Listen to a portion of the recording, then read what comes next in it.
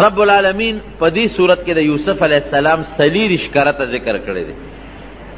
او د یوسف علی السلام واقعا پورا په دې صورت کې ذکر ده په بل صورت کې د یوسف علی السلام قسم نه ذکر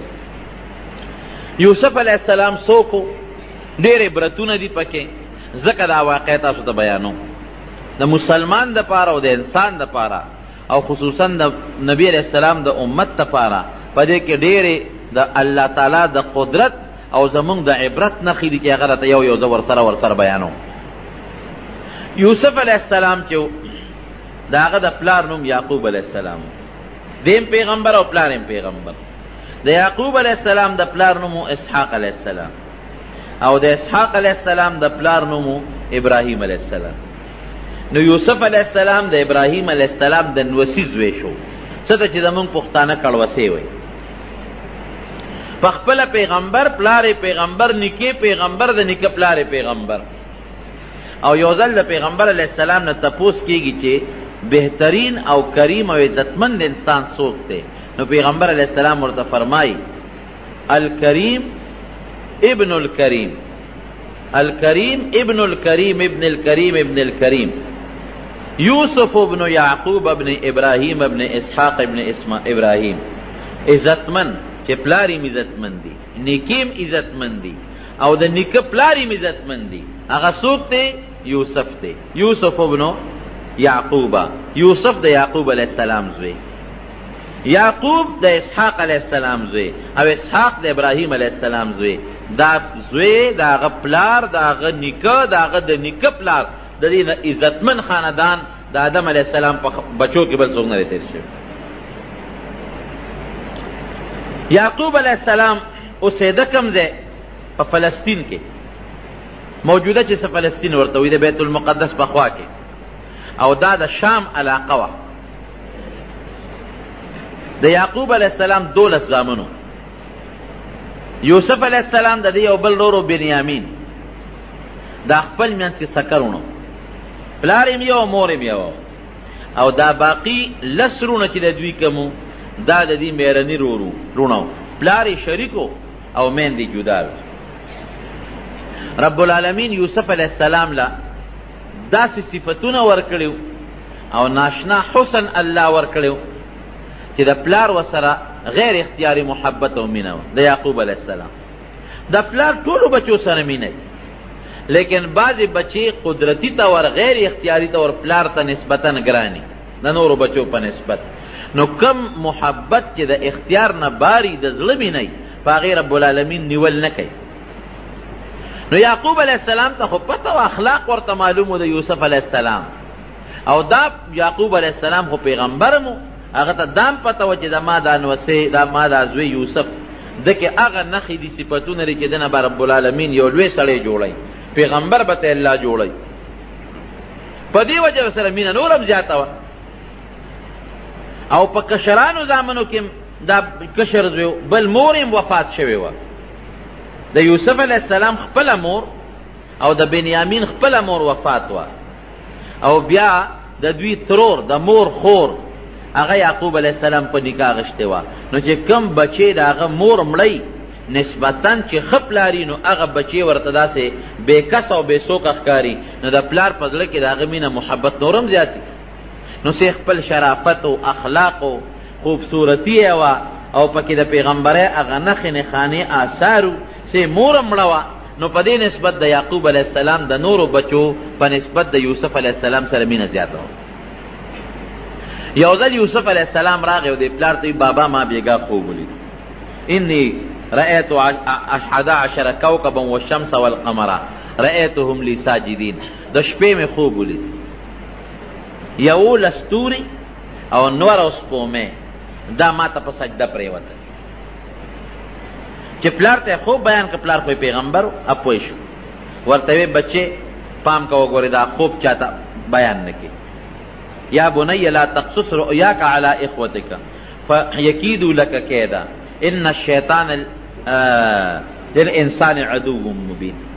بچي ګوره پام کا چې دا خوب دي رونو ته بیان نکي ځکه هغه ته پتا و چې د ماره د نورو زامنو د یوسف علیه السلام سره حسد دی او بغض دی او په دې وجه سره بغض چې د پلار د سره مینه ولې زیاته ده مونږ سره کم او د سره زیاته ده پلار و سره محبت ولې کوي د ده ولې زیات خیال ساتي نو بچی اسم په زړه کې در سره بغض دی حسد دی او که دا خوب دی ورته بیان کا نو ګوره هغه بغض او حسد یې نورم زیاتېږي هسې نه شیطان به یې درته ولم سیدارونه او تا ته سازش جوړ نه کی سکیم درته جوړ نه کی او ضرر درته ونه رسوي اپ په پوه شو چې دا یو لستور خدای یو لسرونه دي او نور او سپومه د یوسف علی السلام د مور او پلار دي لکه تروري په نکاح غشته و پلان نو بس میرم میرا مور مورین نو دا مور او پلار دا نور او سپومه او یو لستور دا دارونه دي دا ټول بستا دا تعظیم او ستا د عزت طرف ته ټیټیږي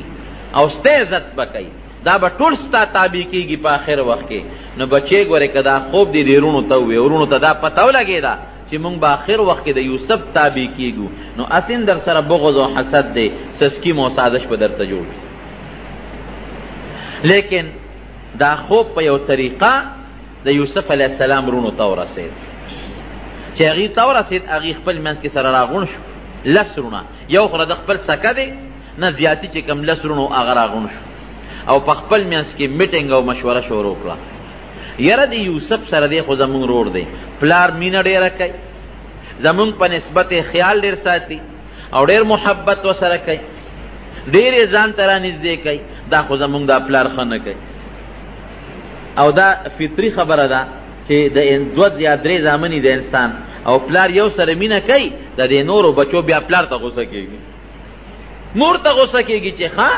ادیم زوی دی او موږ دیم زامن یو د هغه ډېر خیال ساتي زموږ خیال نه ساتي نو پلار ته غوسه کېږي او هغه ورور ته هم غوسه کېږي دا یو انسان کې فطرتاً یو د یو څیز پروت دی دا د انسان د فطرت تقاضا ده نو هغه لس روڼه یې غوسه و چې ښه مونږ خو لا مخکې نه ورته غوسه و چې پلار ورسره مینه کوي محبت ورسره کوي ځان ته ډېر رانږدې کوي او دا خو لا سبا به دې لوی سړی به د ده نه جوړېږي او مونږ به ده ته سجدې کوو مونږ به ده ته ټیټېږو د سلامونه به کوو دا موږ نشو زغملی ښه څه به کوو یو ورور یې وې چې مړ یې کړو اخوا به یې بوځو او مړ به یې کړو دې کې یو مشر ورور یهودا دا د هغې لسو خپل ورور هغه ورته وې نه ګورې پام کوې مړ یې نه کړي که کم از کم زمونږ مهرنی ورور دی خو ورور خو هم دی که پلار خو هم شریک دی نو په وجلو هم نه پردو کېږي وجنو به نه نوی خامخې وجنو وې ګوره که مړم کوم نو خبره د مرګ نه پټېږي خامخا پنځه کاله لس کاله دوه کاله شل کاله هر کاله چې نو پته به وروستو لګي چې دی مونږ مړ او زمونږ پلار پیغمبر هم دی نو سبا به راته خیري وکړي ازار به راته وکړي او یا زمونږ پته به ولګي نو برباد او تباه به شو وجنو خو یې نه ښه بیا به ورسره څه کوو وی داسې به وکړو چې ته لرې ځنګل ته به یې بوځو هلته به په یو کوی کې وروغورځو بس مونږ به اخلاص شو د قتل نه به مونږ بچ شو په مونږ به د قتل الزام نه لګي او د مرګ د ګنا نه به بچ شو او کوی کې به غورځو که چته چاره وست نو چاته به سپته لګي چې دا سوک دی وړي به او که پکې مړ شو نو مړ دي شي پکې د لاش به هم پته ونه لګي که دلته وجه نو خو لاش یې معلومېږي بس کوی ته به غورځو خپل کار به کوي سر خالته به سنګ بوزو نو خپل منځ کې میټینګ وکړو پلار له راغلل وی بابا مونږ ته له راغلی مونږ همیشه سیل کوو او ښکار له ځو چکر لګو او زمونږ دا کشر رور یوسف چې زمونږ سره ډېره مینه ده او ستا هم ډېر خوښ دی دیم دې ځل له مونږ بوځو چکر به پرې ولګو منډې ترړې به ووایي ښکار به وکړي خوشحاله به شي پلار ورته وایي نه بچې دې خو زه نه پرېږدم ځان نه یې نه جدا کوم بیا ول رالل بابا نه مونږ سره به دې خامخا پرې دی او دې مونږ لازمن بوزو او ته په مونږ یریږي چې دته به مونږ سره ضرر ورسو دا زمونږ رور نه دی ته زمونږ پلار نه تا به مونږ خپه کو دا خو زمونږ کشر دی زمونږ رور دی او مونږ غواړو چې دې مونږ بوزو چکر په لګو سیل په وکړو یعقوب علیه السلام ورته وایي انی اخاف ان یاکله الذئب وانتم عنه غافلون بچې ګوره زه یریږم هسې نه شر مخې ده نه ونه تښتئ شر مخې ونه خوري تاسو به په خپل سیل کې په منډو ترړو به یې غشي به ولې اسونه به ځغلوې او هسې نه چې زما دا بچې ده نه چې ته شر مخ ونه تښتئ شر مخې ونه خوري دا ولی یعقوب علیه السلام دا ټکی ولی و چې شرمخ به وتښتی یو خو په دغه ځنګل او په علاقه کې شرمخان ډېر زیات او دویم د یعقوب علیه السلام دوی ته اشاره و چې تاسو شرمخان یې تاسو یې رانه ونه خورئ ګورئ تاسو شرمخان یې رانه ونه خورئ ماتې نه کې او یا په دې ځنګل علاقه کې شرمخان ډېر دی نو هسې نه شرمخې ونه تښتئ وی نه بابا هیڅ فکر چې ونه کې او دی به مونږ سره منډې ترړې وای چکرې به ولګی او مونږ به حفاظت کوو په حفاظت به دله واپس راول چې پلار یې پوره مجبور کړ نو دی ځان سره واغشته دی د دولسو یا د دیارلسو کالو په دغه وخت کې یوسف علیه السلام ځان سره په مخه کړ نو د پلار په مخ کې خو به کله په یو مخ کولاو او کله به په بل مخ کوله کله به اوچت که په غیږ کې به ونیوه او کله به بیا په ځمکه باندې کینه او پلار وسره بار وت د دې وجې نه بچو ګورې ډېر پې یارېږم تاسو خو زلمی خو زما د دې بچي به ګوره ډېر خیال ساته لسې مېرني روڼ او یو دیش بنیامین دې پاتې شو هغه وروسته دی لا ماشوم دی د پلار چې تر څو پورې ورته نظر و هغې پورې به یې دی کله یوې اوږې ته او کله بلې اوږې ته کله به یو ښکلا او کله به بل ښکلا خو چې کله د پلار د نظر نه غیب شو د اوږې نه یې ځمکې لره وبره لته یې وله ورکړې دیکې یې وله ورکړې د وې ښه تاسو خو زه د پلار نه څونه په مینه راوستم په ما سیل او چکر یې لګوې اوس مې وهې نو د یو ورور نه به بل ورور له منډې کړ چې ما را دنه خلاص کا نو هغه به ولې لته ورکړه ځمکې له به یې راوبرو نو بل له به یې منډه کړې نو هغه به لته ورکړه نو بل له به یې منډه کړې نو هغه به لته ورکړه نو بل له به یې منډه کړې لکه بال غوندې چې خلک یې پلتو وي دقسې پلتو به یې و او ورته به یې څه وې وې ځکه نو اوس هغه یولس تورو ته دی واس که چې دې رانه خلاص کړي هغه نور او سپومې ته دې ووایه چې اوس دې رانه بچ کړي ته خو وې ما ته بنور او سپومې او یوولس توري سجدې لګی هغه هم پوه شو هغه هم د پیغمبر بچي چې دا یوولس توري مونږ یو نور او سپومې را د مور او پلار دي دله به الله عزت ورکوي او مونږ به ورته کوس پاس کېږو دا چې ته مونږ برداشت کوو لته به یې ورکړه وي شا به هغه یوولس توري دې راوله چې دې رانه بچ کړي ځکه نه هغه نور او سپومې دې راوله چې دې رانه خلاص کړي دې غریب ورته جاړې او چغې ورته وایي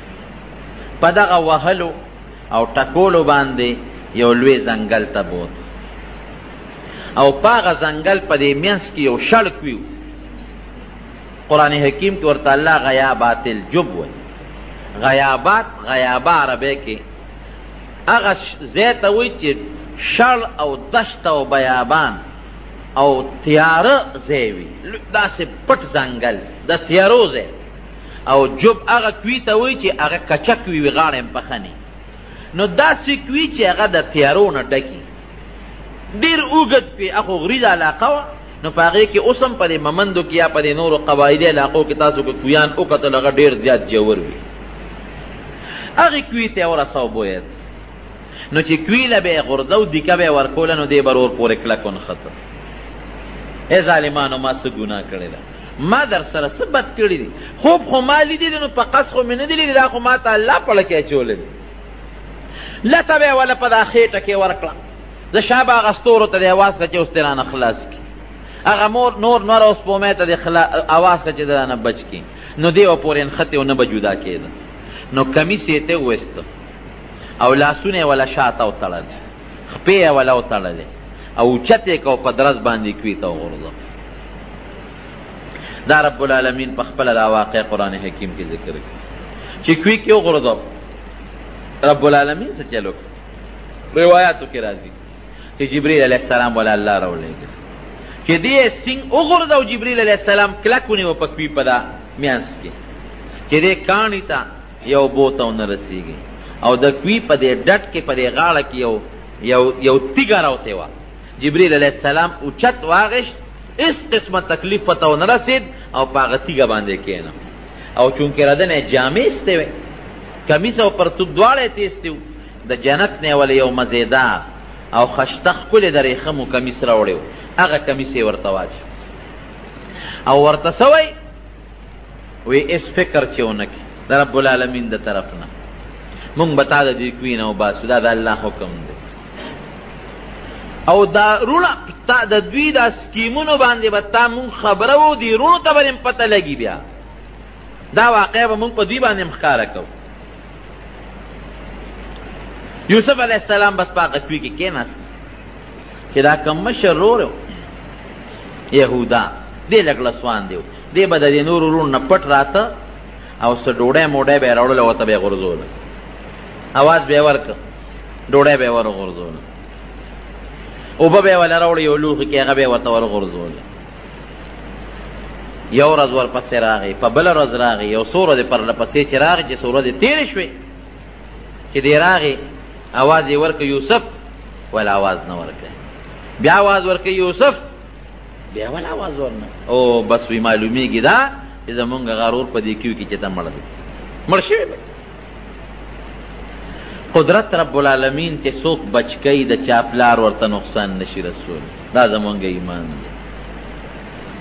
چې الله د انسان ملی او د الله امداد کوي د دنیا یو طاقت هغه ته نقصان نشي رسول او چې کله د رب العالمین خپل حفاظت اوچت کړ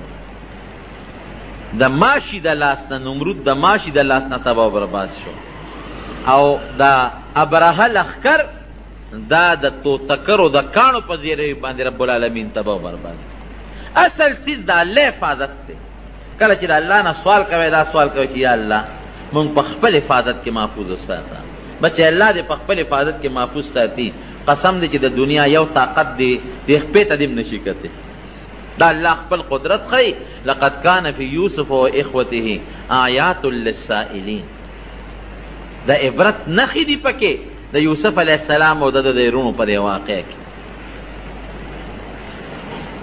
یو قافله په دې لار را تیرېدله نو دې قافله کې به بعضې کسان دو چې هغوی به ګیا پسې ګرځېدل چا به سارویو به کول څوک به اوبو پسې ګرځېدل نو کومه ډله چې د دې قافلې هغه په دې باندې ماموره وه چې تاسو لړ شئ اوبه وګورئ هغوی چې راغلل ته کوي وکړ زر یې بورقه راواغېسته او هغې کوي ته ښکته کړه چې کوي ته یې بورقه ښکته کړله او برقه ویخ ته ورسوله نو یوسف علیه السلام سره برقه جنګېدل بس پړی پورې دې کلک ونښته هغه به غټه برقه وه یو کس به نه شو رستی ابا په پنځو شپږو کسانو بلکې د دې نه په زیاتو به هغه برقه خلکو رسته اوس هم په دې اوږدو کویانو باندې غټې غټې برقې وي چې دوی بورقه راستله بورقه درنه ده خیر په ډیر زور او په وجودونه هغه زمانه کې د خلکو مضبوط پهلوانان په ډیر زور او په ډیر لوی طاقت باندې بورقه راوچته کړه چې راوچته یې کړه اوس یوسف علیه السلام ورپورې نښتې ښه مزېدار ښه شته ټیک ټاک جمدې روغ صحت واله چې راویې ویسته ورته یې وکتل یا بشرا هذا غلام او خوشاله شو دا خو مزیدار خشتالک دی ډیر جس خوشاله شو یو خو په دې خوشاله شو چې یو مزیدار خشتالک راته الله راکړ او هغه زمانه د غلامانو وه غلامان به خرڅو خلکو خرڅول یو خشتالک دی زبس دا به مونږ خرڅ کو او بلا پیسې به پې وګټو لاړل نورو ملګرو ته الو مونږ خو دغه د کوی نه په برقه کې لکه نښتې دی هم راوست او ډېر خشته او خوبصورت هلک نور ملګري هم خبر کړ ای بس چپ شې غږ مه کوې بو بیا ځو یو ښار ته کومه طرف ته چې زمونږ قافله ځي او په هغه ښار کې به مونږ خرڅ کړو بلا پیسې به راله وګټو یهودا چې کوی ته ډوډۍ غورځوله دی ونه مونته یو خوا بل خو یې منډې ترلې شروع کړې چې دې چاروخ کې دی او که مړ دی په دې کوی کې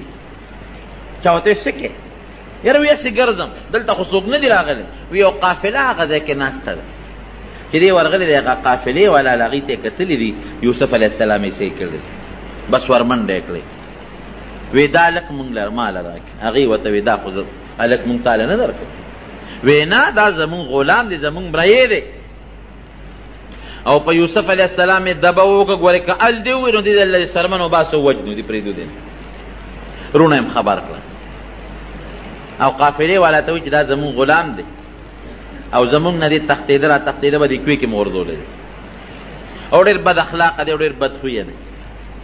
او غلا غلطی به زمون نه کوله مونږ لرا خپل غلام راکې قافلې والا وته نه مونږ نه درکو خیر جوړه پدې شو چې دا به در باندې مونږ در خرڅ کو بس قافلې والا ولا دولس درهم ورکړل او سو قتل لس درهم یادې معمولی لګي پیسې وشروه بثمن بخس دراهم معدوده وکانو فیه من الزاهدین په اتلس یا په دولس درهمه باندې دا خپل لور خرڅ کړه په قافلې والا پیسې یې واخېستې خپل منځ کې تقسیم کړې چې دوی کله پلار له لاړل د شپې ماسخوتن نو جړا انګولا ده او لوی چغې سورې دي د کلي خلک ورته راغونډ شو څه چل دی وایي زمونږ غرور یوسف زمونږ نه شرمه خو تخته مړی پلار یې راووته خو پوه شو چې څه چل خو شته چې راووت بچو ولې ژاړی وی بابا مونږ نه هغه استاذ وی یوسف چې دی نه هغه شر مخ وتښتو او په یو روایت کې راځي چې یو شر مخ دوی را نیولی هغه کې پړی اچولی او یعقوب علیه السلام لی راوسته وی شر مخ رانه استاذ وی وتښتو وی شر مخ زما تاسو ته مانوي چې شر مخ زما زوی بدن تختی او تاسو به غفلت کوي وینا بابا مونږ هم ډېرې منډې وای د موالي اخره کې دې ستړی شو جامو تم کېنو نو مونږ منډې ترړې والې چې مونږ راتلو شر مخ دې تختولې وبیا او شر مخ همدا دې رانیولې دی اوس چې ته ورسره څه کوې نو بس تا مخکې به دې شر مخ تا زوی شتولې دی او کمیس د ګډې یا د چیلې یا د اوسې په وینه کې لړلی و هغه یعقوب علیه السلام له ورکوي دا ستا د زوی کمیس دی او دا هغه وینه ده ستا د زوی دا هغه بچي موږ څوک و شرمه خو تښتو موږ خو خیال ساتو یعقوب علیه السلام چې کمیس ته وکتل نو کمیس شلېدلی نو ټیک ټاک و وی ډېر هوښیار شرمه خو چې زما زوی وجه او کمیس یې ترې روغېستی دی چرمخ خو چې الک شلی خو کمیس د هغې نه مخکې شلی چیر پار کي نو دا دونه هوښیار شرمخ دی چې زما د زوی نه روغ کمیس وویسته او بیا زما زوی خوړلی دی او دا شرمخ ته وی او وی وایه شرمخه دا د پیغمبر معجزه ای په هغه ذات د ستا قسم یې رښتیا وه چې کوم ذات ته پیدا کړی او دا دواړه جهانه پیدا کړي دي زما زوی دی ولې خوړه وې شرمه خو سره خبرې شروع کړې چې یا یعقوب دا زامن دې دروغ وایي زه دوی په جال ښکار کړم او رب العالمین په موږ حیواناتو د پیغمبرانو د هغوی د بچو وینې او غوښې حرامې کړې دي دروغ وایي دروغ ده قال بل سولت لکم انفسکم امری انفسکم فصبر جمیل والله المستعان علی ما تصفون بس وی لره ته یو خبره خشته کړې و او زما زویم زمانه غیب کو زبا صبر کوم او رب العالمین چې دی اب ما سره پدې کې امداد کوي یعقوب علی السلام د خپل بچی پسې جړل دومره دې زوی پسې او جړل چې سترګې د جړا د وجه نړندې شوې وبيدت عيناه وهو كذب زړه د غم د وجې نه او سترګې د جړا د وجې نه مکمل ړندې شوې نظر یې لړ ختم شو او هر وخت به الله ته جړل چې یا الله زما بچي یوسف خو ما سره میلاو الله ورسره وعده کړې وه دی تمه و چې ما له به د خپل بچی الله راولي خو کله به راولي یو کال پس دوه کاله پس درې کاله پس لس کاله پس او څه پته لګي چې زما په بچي به څه ژوند تېرېږي د چا غلامۍ کې به یې ګډ چیلی به سره یې کوم ځای به یې نور ته به یې سوري ته به یې هوا ته به یې یخنۍ ته به یې ګرمۍ ته به یې دا خو ډېره ګرانه خبره ده الله تعالی دې مسلمان د دې صدمې نه وساتي قافلې والا یوسف علیه السلام بوته مصر ته د مصر ښار ته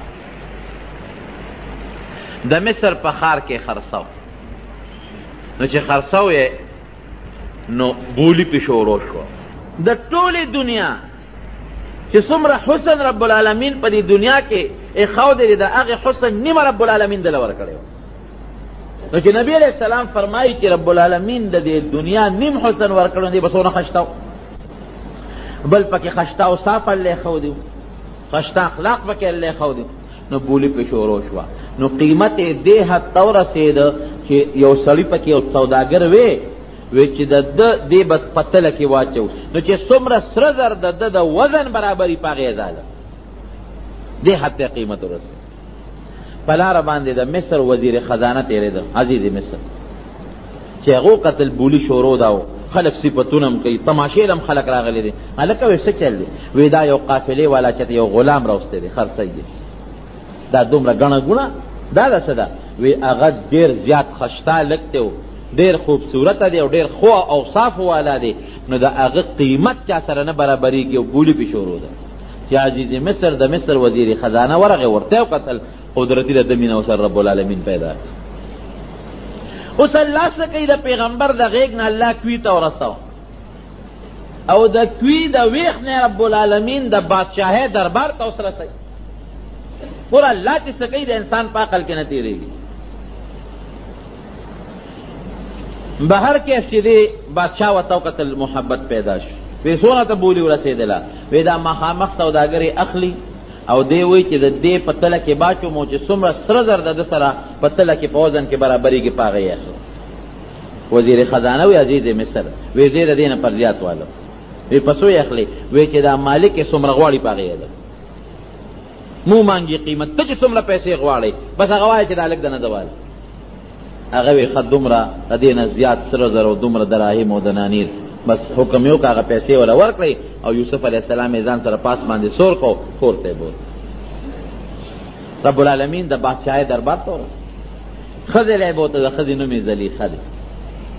وی خزه او ماشوم میرا واست او ډېر خالق دی ځان سره لویوه او تربیت یې کوه خو د دې عزیز د دې وزیر خزانه د مصر بچی نشته نارینه اولاد نشته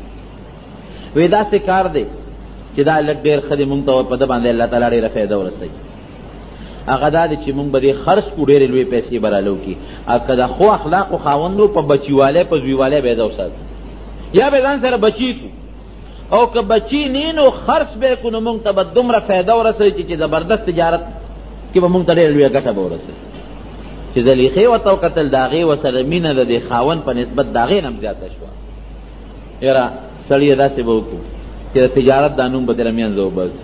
لوی به یې کړو هسې هم زما ستا زوی نشته به دا زمونږ زوی شو وې زوی راخه د ښځې اخوا په یوسف علیه السلام په یعقوب علیه السلام په پلار یې غم تېرېږي اخوای د بچو هغه د بغض او د حسد هغه دروازه الله کولا وکړه هم په پلار معلومه شوه دې خوا دې کوي ته ورسېد سوداګرو راوست په مینه او په محبت باندې رب العالمین د هغې لږې مینې محبت د وجې نه هغوی ته څومره پیسې ورکړې او دې خوا رب العالمین د بادشاه دربار ته او د یو وزیر کور ته راوسته الله ګورې دا ښيي ډېر زیات عبرتونه دي پکې یو خو دا چې په لویو خلکو څومره لوی خلک وي هغومره مشکلات او غمونه ورته ډېر راځي لکه په یعقوب علیه السلام څومره غمونه راغله او دویم دا چې په بچی باندې یوسف علیه السلام نه وروسته رب العالمین ډېر لوی سړی جوړوي نو څومره پریشانې او مصیبتونه پرې راغلل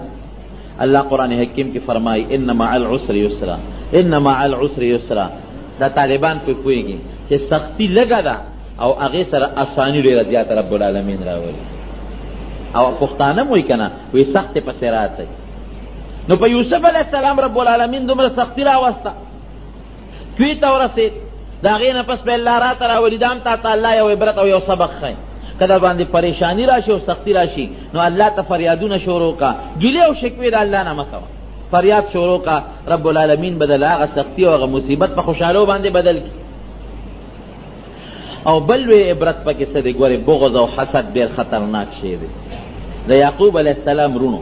ها بچو د خپل رور یوسف علیه السلام سره بغض او حسد شروع کړ نو نقصان یې چاته شو ټیک ته ظاهر کې پلار ته هم ضرر ورسو رور ته هم ضرر ورسو لیکن د رب العالمین په نس مختورن څوک شو همدغه د یعقوب علیه السلام زامن د یوسف علیه السلام رونه ګورې بغض او حسد ډېر خطرناک شی دی ډېره لویه ګناه ده کله چې یوسف علیه السلام او د زلیخې منځ کې مسله راله او یوسف علیه السلام متعلق ماشوم بچی ګوی ورکړه چې د یوسف علیه السلام کمیس وګوره که دا د مخې نه شلیدلي مخکنی لمن نو غلطي د حضرت یوسف علیه السلام ده او که کمیس د شانه شلیدلي نو معلومیږي دا چې د به منډه والا تختېده به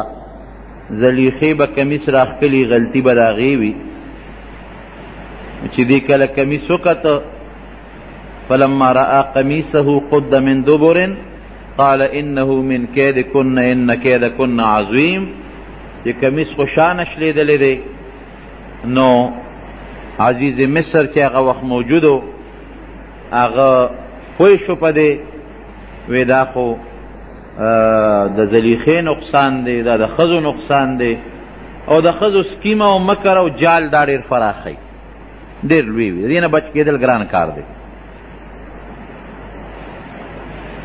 نو دغه وخت کې عزیز مصر ما تیره جمعه هم درته ویلو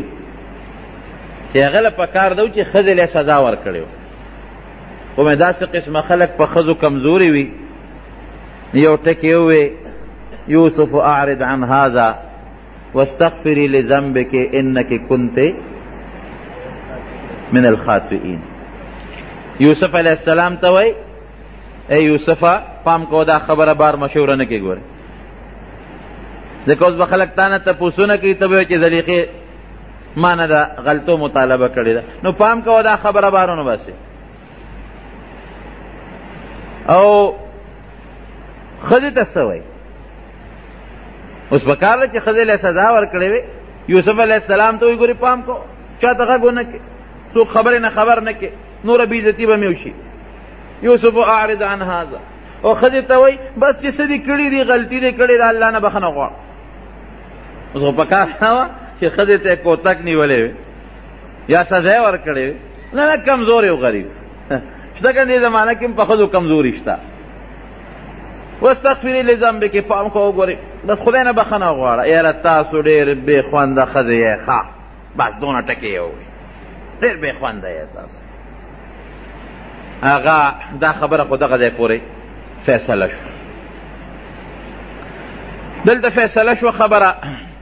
یوسف علیه السلام ته بس دا وی چې بس چپ شه نور بغږ نه کې او خدای ته وی د الله نه بخنه غواړه خبره مشوره شو دغه څو کسانو خو خبره واورېده او بادشاه عزیز مصر وی ګورې غږ به نه کوي خبره مشوره شو چې خبره مسور مشوره شو د مصر په خزو کې او زلیخا دا ګوره دا لوی وزیر خزه ده او د یو خپل غلام نه د ناروا مطالبه کوي دوه غلطۍ دي یو خدا چې د دومره لوی سړي ښځه او ګناه طلب کول او دویم دا چې ګنام طلب کوي نو په کار دا و چې ته د لوی سړي نه طلب کړی وي نو یو خو په خپل غلام باندې دا مینېږي یو غلام نه دا د ګناه مطالبه کوي دا خو ډېره بېکاره ښځه ده د دې اړه ته خو دا محبت ډېر دننه ننوتی دی دا خپل ځان ته نه ګوري او خپل غلام ته نه ګوري چې د ناروا مطالبه کوي نو پکار ده چې د وزیر نه کړی وي یو خپل غلام او د مرګي نه مطالبه کوي خزو په مخه واغشته پراپګاندا شروع شو د وزیرانو خزو د مشیرانو خزو د افسرانو خزو دا پراپګاندا شروع کړو خو چې دا پوه شو چې دا خو زما خلاف پراپګاندا شروع شوه بې عزتي مې کېږي کوسه په کوسه راپسې خبرې شروع دي نو دی ویل د دې نه پسې ځان خلاص کړم دی یو دعوت وکړ او هغې کې قسم قسم میوې کې ښودی او د ټولو وزیرانو د غټو غټو افسرانو ښځو له دعوت ورکړه چې ټول راشي ټولې ښځې رالې بالښتونه یې ورته کېښودل هغې ته یې ډډې ووالې ښځو هم دا سوچ و چې د عزیز مصر خزه مونږ لا ډوډۍ کړې ده اوس مشوره به کوي ټولې خزه رااله ټولو کې د وزیرانو او د مشیرانو د غټو غټو افسرانو خزه ناشته دي ډوډۍ ورته مخ کې کېښو دا میوه ورته مخ کې کېښو دی او د هوښیار او زلیخه چړې یې ول لاس کې ورکړې ځکه دا میوې اوس هم خلک په چړو باندې پرې کوي هغه زمانه کې هم دا رواج او چې کله دې کېناستې او مزیدار بسترې او بالښتونه ورسه پراته دي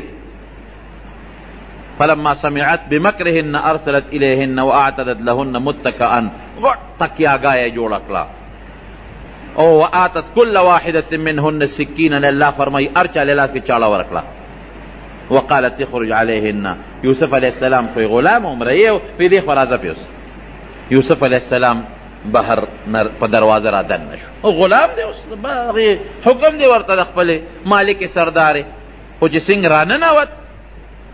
فلما رأينه اکبرنه چې د خزو ورته وکتل یوسف علیه السلام ته اوهو ولکه ډیر لوی والی راغی داغه غلام دی یو خزه یو ته وای بل خزه بل ته وای او دا خو ډیر خشته دی دا خو ډیر زیات خوبصورت دی خو چې څنګه هغې ته وکتل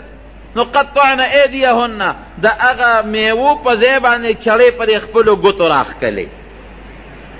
پوی نشو چې دا مونږ میوه پرې کو او که مونږ ګوتې پرې کو د یوسف علیه السلام هغه حسن په داسې غالب شو داسې چې بس په ځان پوی نشو د میوې په ځای ګوتې ځان له کټ کړلې او په لاسونو باندې ځان له لاسونه زخمي کړل او سرمنو نه وینې روانې شوې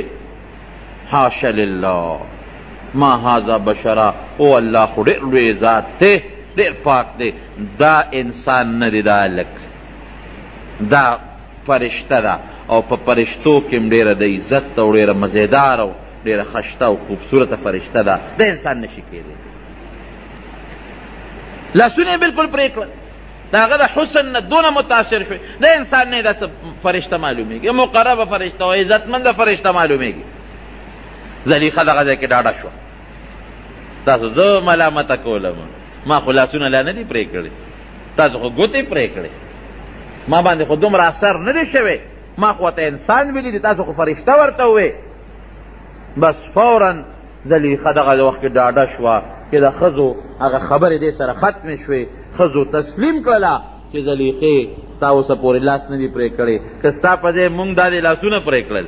تا خو ته یو ځل چېرته مطالبه وکړه ستا په ځای که مونږ وې دی به مونږ نه کوم ځای کې بچ پاتې شوی وې نو دا هغه ځای کې سوی دا هغه ځای کې د اعلان وکړو چې انا راوته عن نفسه فاستعصم ما ته مطالبه کړې ده بالکل ما ته مطالبه او طلب کړې ده ډاډه شوه چې زه مجبور یم خو ځان یې رانه بچ کړ ولئن لم یفعل ما آمره لیسجنن ولیکونن من الخاسرین که زما دا زما دا خبره او نه منله چې دا ماته کومه مطالبه کړې ده دا به خامخا یوسف علیه السلام زید سر ته رسوي او که ویې نه منله نو جیل کې به یې چوم او په جیل کې به لکه د ذلیلانو غوندې او تاوانیانو غوندې زندګي تېروي نه یې پرېږدم جیل ته به ځي پرېږدم یې نه او زمونږ دا طالبان دلته کې سوال کوي چې دا د جیل خبره یې څنګه وکړله داسې په کار وه لکه یو سړی وایي که نه که زما خبره یې ونه منله نو مړ به یې کړم که زما خبره یې ونه منله نو زخمی به کم او به وام سزا به ولا ورکم دوری به ورکم کوړی به ورکم دی وخت کې دا نه وي چې مړ کوم یا دوری ورکوم یا سزا به ورکوم نه که زما خبره ونه منله جیل ته به لیږم وی زه جیل ته لیږل خو به بیا راوباسي که نه اخو یې معشوق و که نه جیل ته لیږل خو نو دی پړه نه راتله چې زه ده ووایم چې دله به سزا ورکم یا زه به یې مړ کم په مرګ یوسف علیه السلام کوم ځای پیرزو کېده یا سزا او دوری ولا کم ځای ورکی دا غي د خلینه دوری لفظ وتل کم ځای کی جیل ته بولېګم معمولی غوندي سزا ولا ورکوم بیا هم دا خبره دا سه وکړه دا خو جیل کې بل شلو دې تیری کې خو زما د اختیار به بیا به صبر او باسم خزم بیا او ته مجبوره بالکل تا چې څه کړی دی خدي کړی یوسف علی السلام دغلت سوی ربی السجن احب الی مما یدعوننی الیه یا الله جیل ما له د دې ګناه نه بهتر دی جیل مې خوښ که ته ما جیل ته لېږې بلکل تیار تابع ده خو دا ګناه خو تصور له مانه نه کېږي سوال نه پیدا کېږي چې زه دې ګناه وکړم بلکل قطعا نه کېږي جیل مې خوښ دی الله ما ته جیل د دې ګناه نه خوښ دی و الا تصرف عني کیدهن اسبو الیهن واکم من الجاهلین خو الله د ګناه نه مې ګوره ته ساتې ګوره د ګناه نه ساتندون کې څوک دی رب العالمین الله نه به سوال کوي چې ما د ګناه نه وساته ګنې شیطان درته دا ګناه داسې خشته کي چې سړی په ځان ورته بیا نه پوهېږي پردی مال هره ګناه چې وي نبی علیه السلام فرمایي دا شیطان سړي ته دا ګناه خشته کي مزینه کی ډوله کی او چې کوم عذاب د الله تر طرف نه په ګناه مقرر دی هغه عذاب د انسان د ذهن نو باسي دی بیا خامخا ګناه کوي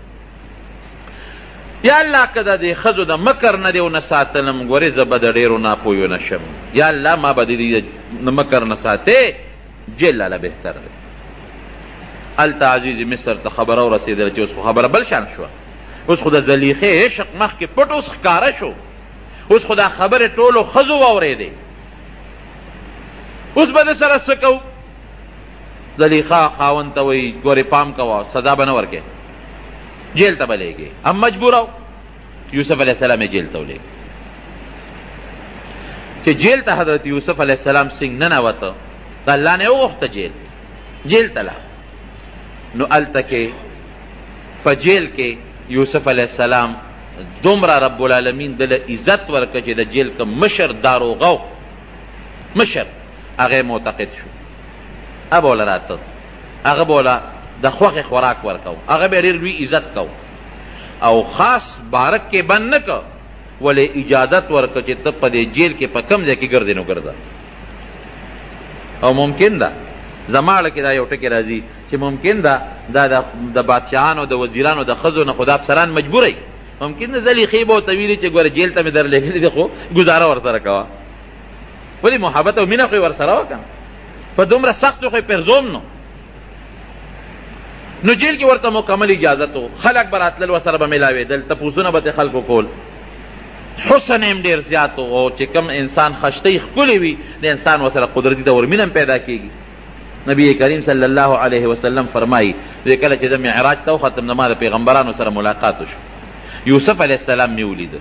چې ما ورته وکتل نو د ټولو دنیا د خلکو نیم حسن رب العالمین یوسف علیه السلام له ورکړی پیغمبر علیه السلام فرمایي نو جیل کې ورسره د خلکو محبت پیدا شو د خلکو مینه ورسره پیدا شوه خلک به راتلل تپوسونه به یې کول دوه کسانو جناب او د به په جیل کې څه کول د ده ډیوټي څه وه د به د مریضانو تپوس کو او چې کوم جیلیان و هغوی له به د صبر تلقین ورکو خیر دی صبر وکړې ګوره ما باندې الله تعالی داسې امتحانونه راوستل چې دوی ته الله وغورځولم الله راوویستم بیا را باندې بل امتحان راغی د عزیز مصر په کور کې د ګناه هغې نه الله وساتلم اوس را باندې د امتحان راغی نه مې څه غلطي کړې ده نه مې ګناه کړې ده نه مې مرګ کړی دی نه مې لاره شکولې ده او جیل ته راغلی خیر دی صبر کوی الله به مې امداد وکړي د جیل نه به مو باسي هر چا ته به د صبر تلقین ورکوو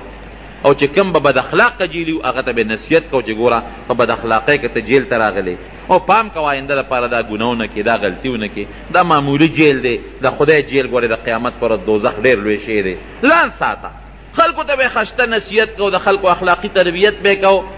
او خلکو له صبر تلقین ورکو د مریضانو ته پوسونه به کول د ارچا وسره مینه محبت پیدا شو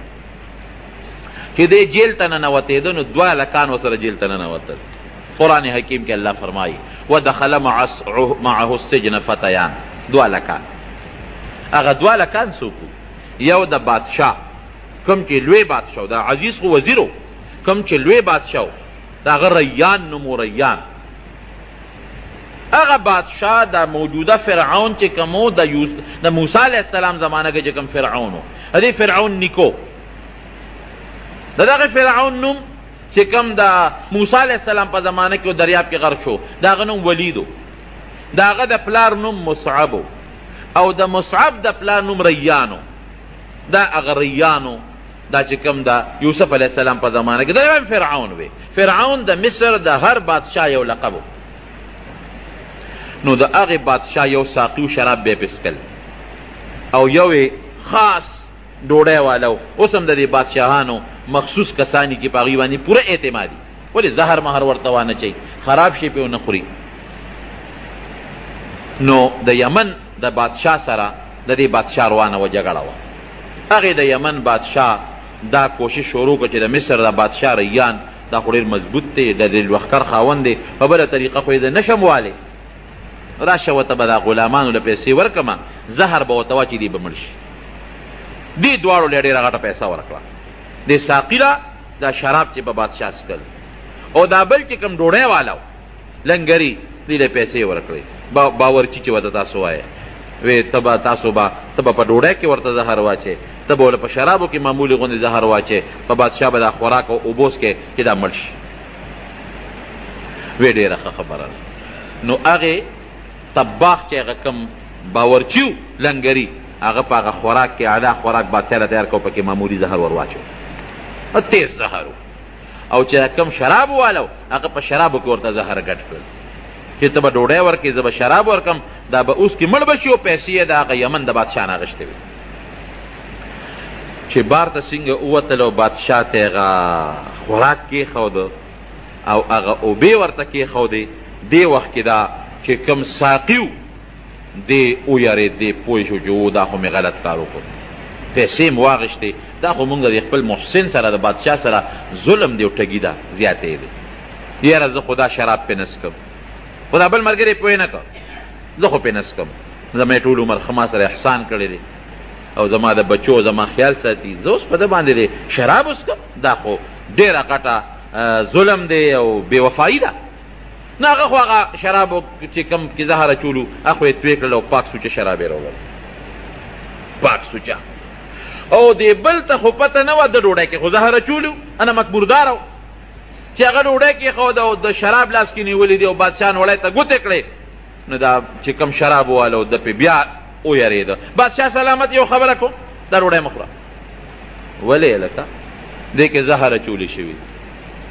دې سړی په کې زهر چولې پیسې اغشت دي د یمن د بادشاہ نه ډوډۍ والا خو وی چې دم زهر چولې دي وی بادشاہ سلامت دروغ وای دا وب مسکلا شراب دې کې د زهر چولې دي خو دواړو په شریکه زهر چولې خو ساقي چې دی وبو والا خو هغه شراب توې کړ نورې راوړل د پکې زهر چولې پام کو چې دا ونسکه بس بادشاه هغه ډوډۍ هم سنبال کړه هغه وبې هم سنبال هغه شراب او حکم یې وکړو دا دواړه جیل ته ولېږې د دې تحقیق کوو یو وې دا چولې دي بل وې دا چولې دي ای تحقیق کوو نو چې کوم ګناهګار ثابت شو هغه له به سزا ورکو او چې کوم بېګناه ثابت شو هغه وبري دا دواړه هلکانو ته یې کړی واچولې او چې څنګه یوسف علیه السلام جیل ته ننوځي دوی هم ورسره جیل ته لاړل بادشاہ تحقیق شروع کړ چې غلطي د چا ده اوس که ډوډۍ والا په ډوډۍ کې زهر ملو کړي نو ګناه ده د شوه او که شراب والا په شرابو کې زهر ملو کړي ګناه ده هغه شوه او که دواړو ملو کړي دواړو ګناه شوه اوس د هغې خو دلته تحقیق شروع شو هلته کې دا دواړه چې یوسف علیه السلام سره جیل ته لاړل نو د دوو کې مفسرین لیکي څوک یې دواړو لیدي خوب څوک یې نه دی یو کس خوب لیدی چې دا کم ساقي دی راغی یوسف علیه السلام ته ای یوسف علیه السلام موږ یو خوب لیدلی دی دواړه ورته کېناستل موږ داسې خبره چوي یو چې ته د خوبونو تعبیر ماهر هم او ته ښه انسان هم ته مهرباني وکړه موږ له خوب تعبیر راکړه څه خوب دی لیدلی دا چې کوم ساقي دی دی ورته وایي چې ما دا خوب ولیده چې زه د بادشاه مخکې ولاړ یم او د انګورو نه وله اوبه وباسم اني ارا في المنام اني اعصر خمرا زه د انګورو نه اوبه وباسم او د هغې نه شراب جوړوم او په بادشاه څکم دا خوب وینم ابل وایي چې زه ځان وینم احمل فوق رأسي خبزا تاکل الطير من زه دا خوب وینم چې د ما د سر د پاسه د ډوډو یو لوی خانک پروت دی د ډوډو او مارغان راځي د هغې خانک نه ډوډۍ اوچتوي او تښتوي مونږ له د دې خوب تعبیر راکړي وی چې دا ساقي خوب په رشتیا لیدو او د بل خوب په دروغ لی دروغ خوب یې ځانه جوړ کړی دی خوب یې لیدی نه دی ته دې تعبیر راله راک یوسف علیه السلام ورته وایي چې دا خو ډېر اسان تعبیر دی وی ته چې یې ساقي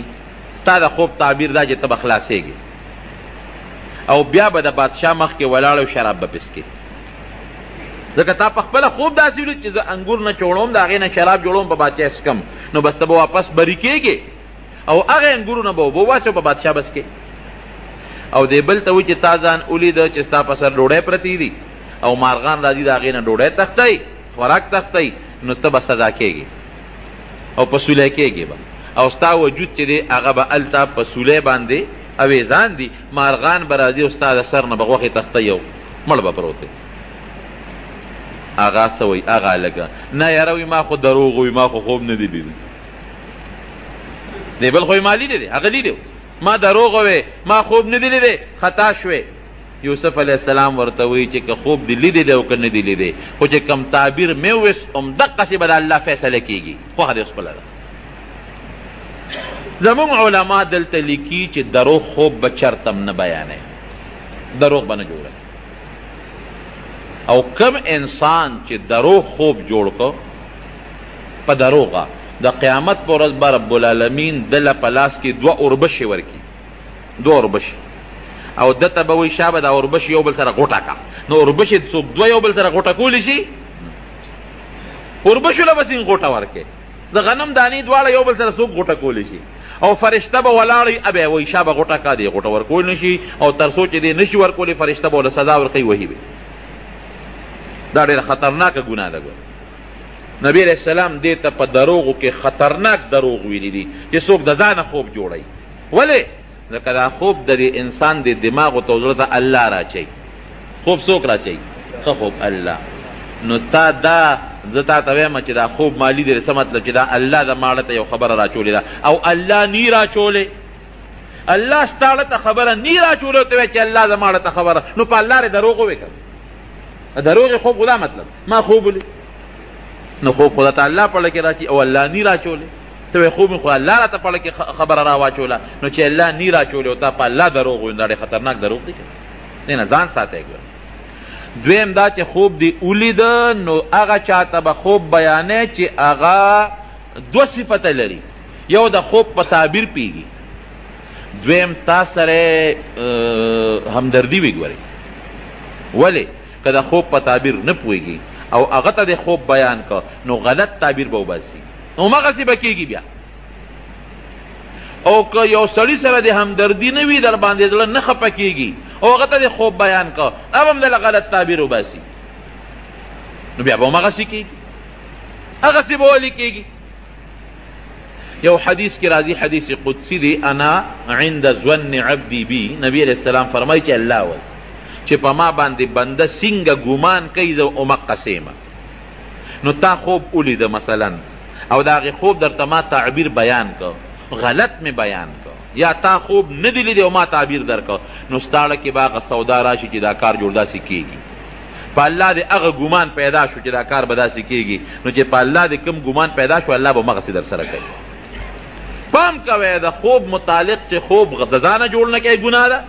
او که خوب هم ولید نو هغه چاته به بیانوي چې کوم تاله ښه تعبیر وباسي پوهېږي او د سره همدردي وي چې مزېدار تعبیر درته درکړي او بل درته ووایم که چا خوب ولید د یارې خوب درې قسمه خوب دی یو هغه خوب چې د الله را طرف نه دی هغه عموما سار وخت کې سړی ویني یو هغه خوب چې هغه د شیطان د طرف نه دی شیطان د د یری خوبونه په دې اړه کې راولي او دریم هغه خوبونه لري چې یو سړی دروازه سکه نو هغه په خوب کې ویني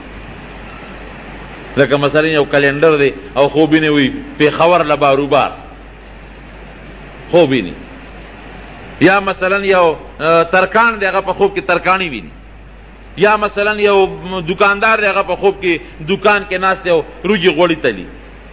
دا دریم دا هغه دي چې د په دماغو کې دروازې کم شي ناست نو خوب کې شپې غوي دي له خو حقیقت نشته بل هغه چې شیطان ورته په زړه کې کومه خبره د یارې خوبونه او د هیبت خوبونه ور واچوي دې له هم څه حقیقت نشته دریم هغه خوب دی چې رب العالمین رحماني خوب په زړه کې ورته ښه ښه سوچونه راواچوي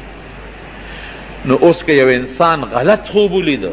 بلکل خطرناک او غلط خوب نو یریږي به نه پیغمبر علیه السلام یې مونږ ته یو دم ښولی دی هغه دم چې د استعمال کو اسم نشته بلکل چې ونه یریږي خطرناک خوب د یارې خوب د هیبت خوب داسې چل به وکړي چې اعوذ بالله من الشیطان الرجیم به ووایي او ګس طرف ته به لاړې وتوږي بیا به ووایي بیا به ګس طرف ته لاړې وتوږي بیا به ووایي بیا به ګس طرف ته لاړې وتوږي بس د خوب اثر به ختم شي هر قسمه خطرناک او د هیبت خوب که تالی دي د هغې اس اثر بني او که هغه وخت کې د یاد نی سهار راپاڅېدې دا عمل وکړه او که سهار دې یاد نو نو هر کله چې دا خوب درته را مخکې شو هر کله نو بس یو ځل دا عمل وکړه چې درې ځله ګس طرف ته اعوذ بالله ویل او ورسره لاړې توکل که جومات کې د جومات نه بهر وځه نو اعوذ بالله ووایه درې ځله او هر یو ځل سره ګس طرف ته لاړې وتوکه د دې خوب به هېڅ قسمه غلط اثر نه دی دم شو بس دا تجربه ده او که مزیدار او خشته خوب دی ولیده نبی علیہ السلام دی په خوب کې ولید الله دی په خوب کې ولید یو نیک سړی دی په خوب کې ولید مونږ دی ولید هر قسمه نیکی نو د الله تعالی حمد ادا کوي الحمدلله او راشه یو دوه رکعاته نفل وکړه لږه صدقه ورکړه بیا به درته رب العالمین د دې نه نور هم خشته او مزیدار خوبونه ښیي خو درو خوب جوړول دا ډېره غټه ګناه ده به هر کې هغه یو خو چې ما دروغ ویلی وي زه اوس چې څه شوي دی هغه شوي دی او چې څه دی به کېږي بادشاه هلته کې تحقیق وکړو چې تحقیق یې وکړو هغه خو اسان کار و هغه زمانه کې خو لیبارټرۍ نه وې هغه خوراک یې راواغېسته او هغه په یو حیوان باندې وخوړه او چې څنګه یې وخوړه هغه مړ شو پته ولګېده چې خوراک کې زهر هغه اوبه راواغېستې هغه یې بل یو حیوان ته کېښودې هغې حیوان هغه شراب وڅښل هېڅ یې هم ورته ونه ویل نو دا پته ولګېده که چې شرابو کې شراب والا څه نه دی اچولی او خوراک والا په خوراک کې زهر اچولی دي بس دواړه یې راوویستل قاضي فیصله وکړه چې دا کم د بادشاه باورچي دی لنګري دی د زهر اچولی دي لهذا دې د سنګسار شي دې دې مړ شي او چې دا کم بل دی شراب والا هغه په شرابو کې زهر نه دی اچولی او بادشاه یې خبر کړ چې بادشاه سلامت ګورې خوراک ونه خورې دې کې زهر دي نو هغه له انعام هم ورکړ بري یې هم کړ وفادار وخت هغه یې راوسته واپس یې په خپله ډیوټۍ باندې ولګاوه ابل یې پانسي کړ او بر یې په لرګي کې وې ځان کړی مارغان به راتلل او د هغه نه به یې غوښې وړلې خو چې دا کم سزا شو دا خو بس ختم شو او چې کوم بری شو نو یوسف علیه السلام هغه ته وایي وی ته خو بری کېږې بری شوې نو اذکرنی عند ربک ته چې لاړ شې نو زما معامله لږ بادشاه ته یاده که زه هسې بېسه مفتو کې جیل کې پروت یم پته نه لګي بادشاه یا زلیخې مې وباسي که نه عزیز مصر مې وباسي که نه نو وزیر صاحب ګیر کړی ما مشر بادشاه ته به زما الوی چې دارنګ یو مسافر دی او هغه هسې بې ځایه په جیل کې پروت دی د هغه دا مسله ده نو دا لږه واوره او د ده مسله کې څه فیصله وکړه نو ته مهرباني وکړه بادشاه ته دې ما یاد کړه نو چې دا خبره د یوسف علیه السلام دا خو څه بده خبره نه ده د ګناه خبره نه ده غلطه نه ده یو سړی دی غریب ګیر دی او بی ګناه ګیر دی هغه چاته سفارش وکړي چې د ما سفارش بادشاه ته وکړي چې ما خلاص کړي دا څه بده خبره ده لیکن بیا هم د یوسف علیه السلام شان سره مناسبه نه وه د یوسف علیه السلام شان دا دی چې د بادشاه نه ولې مطالبه کوې د لوی الله نه مطالبه وکړه هغه الله چې کوی کې ته پروت وې او د کوی نه راوویستلې نو د کوی نه خو دا جیل کوی خو ډېر تنګ جیل دی دا خو ډېر فراخه جیل دی دې نه دې رب العالمین ایستی شي نو قرآن کې الله فرمایي چې دا خبره وکړه چې بادشاه ته ما یاد کا نو الله د هغه سړي نه خبره یېره کړه فلبث فی السجن بدع سنین اووه کاله په جیل کې دی نه پس نور هم تېر کړل اوس پیغمبر ته الله ګرفت یونس علیه السلام یې د مهي ګېډې ته ونه رسو اوس ما غوندې که راګیر کي نو ورته پته ده که دله لږه سزا هم ورکوم نو تښتي نو موږ ته ګزاره کوي الله دومره سخته سزا نه راکوي او پیغمبر خو ورته معلوم دی که دی هر څومره زه راکاږم دی پیغمبر دی د ده با یقین او د ده هغه نبوت او هر څه به نور هم پخته کېږي د هغې داسې مثال دی لکه چې څومره یو سره زر څومره په اور کې اچی نو هغه خرابېږي نه هغه نور هم خشته کېږي خو که دغه دی دا ګیلټ دی په اور کې ور واچول په یو ساعت به دوړی او که سره زر دی ور واچول به نور هم خشته کېږي نو زموږ مثال خو د ګیلټو دی نو که معمولی زور هم ورکوي نو ایمان پریږدي او پیغمبر خو سره زر دي نو که هغه له هر څومره زور هم ورکوي هغه نور هم دغه کېږي الله ته تقرب حاصلېږي او پیغمبر خو پاک دی نو معمولی خبره وه خو رب العالمین پې خفه شو چې ښه تا ما ته ولې رجوع نه کوله تا قیدي ته وې چې بادشاه ته مې یاد کا فلفظ فی السجن بضع سنین اورېږه یو اووه کاله در باندې جیل کې نورم تېرو هغه نه خبره یې راشو دینه مونږ ته دا مسله معلومه شو چې بعضې وخت کې به یو انسان بې ځایه جیل ته لاړ شي دا د هغه دپاره یو سبق دی یوسف علیه السلام به ټولو جیلیانو ته وې ګوره زه بې ځایه راغلی زه خپه نیم د الله په کارونو مې صبر دی تاسو هم صبر وکړئ دا تې بله مسله معلومه شي به هر کیف بادشاه لوی بادشاه چې دی خوب ولید مشر بادشاه چې خوب یې ولید خوب داسې و چې یو غټ دریاب دی هغه دریاب اوچ د هغې دریاب نه اووه غواګانې راووتې سربې مضبوطې غواګانې ورپسې اووه ټپې ټیپې بېکاره چې تشه ډوکي داسې غواګانې راووتې خو چې راووتې نو د اوو غواګانو دا سربې غواګانې وخوړې اوس عقل خدا وي چې مضبوطه غوا لګي شي ولا بل نه نه دا او غوا خو غوا نه خوري نو دا و غواګانې دا ټپي ټپي رالی او دا سربې غواګانو باندې بس ورغړم کړی و هغه سربې غواګانې وواړه الوقت تېرې کړی ویې خوړې بلې ده ولیدل چې وشنه وږي و د غنمو ډېر اعلی مزېدار او اوه اوچ زیړ وږي نو دا زیړ وږي د غنمو د دې شنو وږو نه تو شوي دي لکه بعضې وخت کې که ستاسو خیال وي که نه نو په دې اونو باندې یو زیړ غوندې شی لګېدلي نری نری زیړ زیړ تارونه یې څه ورته وایي منېشه ورته وایي هغه زیړ زیړ څیزونه یي نو هغه چې د دې شنې څانګې نه تو شي نو هغه بوټي وچکي بنوشه هغه وچکي نو دا رنګ دا زیل اوچ چې کوم وګی دي دا را دي شنو وګونه تو شوی و نو چې بادشاه دا خوب ولید نو یو ته د خوب تعبیر او یریده بادشاه او خيارو بل ته د خوب تعبیر بل ته د خوب تعبیر چاته د خوب تعبیر نو معلوم تا چې کوم ساقی دی هغه تر یاد شو او هو زما یو شنا دی په جیل کې یوسف نوم دی اخو د خوبونو ډیر زیات ماهر دی بادشاہ سلامت زما یو اشنا دی او جیل کې پروت دی